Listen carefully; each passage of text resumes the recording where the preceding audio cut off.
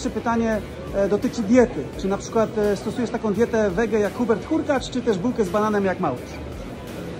E, no to bardziej bym się chyba przychylał do diety jak Hubert Hurkacz, e, chociaż no znam też e, dobrze jakie restrykcje ma Hubert, więc ja aż tak bardzo jak on ich nie przestrzegam. Może powinienem, by było jeszcze lepiej wtedy. A teraz kuchnia domowa, czy, czy gdzieś e, na aut wchodzicie?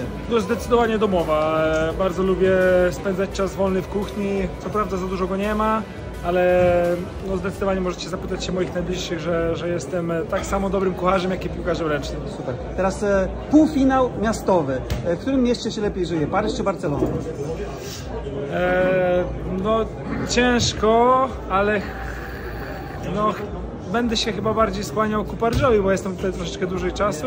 Chociaż dwa miasta się zdecydowanie różnią od siebie. Mhm. Masz medal Mistrzostw Świata, zabrakło troszeczkę do medalu olimpijskiego. Jeszcze nie masz finału albo pierwszego miejsca w Lidze Mistrzów, mówię jeszcze, podkreślam. Co by było ważniejsze dla Ciebie? Medal olimpiady, czy, czy finał albo e, e, Mistrzostwo Ligi Mistrzów? No to rzeczywiście ciężkie pytanie zadajesz. No oczywiście, że fajnie by było chociaż mieć jeden z, z tych dwóch medali. Wiadomo, że medal olimpijski to jest e, jakby zostaje do końca życia, e, więc chyba bym się przychylał bardziej do medalu olimpijskiego. Dzisiaj dużo było krzyczenia na sędziów, sędziowie dużo krzyczeli, krzyczeli. Także pytanie, czy sędziowie pomagają, czy przesz- przeszkadzają? Pomagają, bo trzymają mecz e, w ryzach. Jakby ich nie było, to podejrzewam, że mogłoby się skończyć e, niejedną bijatyką.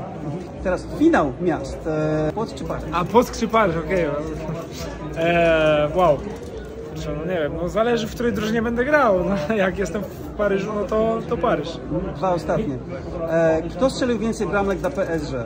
Messi, Neymar i Mbappé razem wzięci, czy Kamil Syczek? No tu odpowiedź jest prosta, chyba już Kamil Syprzak. Dokładnie. I ostatnie pytanie, chłopiec czy dziewczynka? Więc Dzięki bardzo.